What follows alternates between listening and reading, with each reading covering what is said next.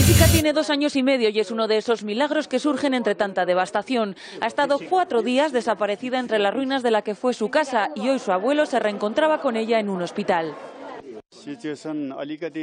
Le duele la espalda, pero está bien. Ahora ya tengo a toda mi familia a salvo. La misma satisfacción siente la familia de Pravin. Su hermana nos cuenta que lo trajeron al hospital inconsciente por los golpes. Estábamos viendo la tele cuando empezó el terremoto. Salimos corriendo, pero a él casi se le cae la casa encima.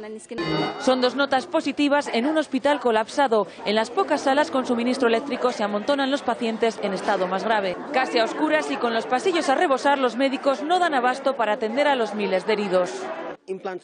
Necesitamos prótesis, material quirúrgico y también medicinas. Una situación que se complica porque los heridos no dejan de llegar.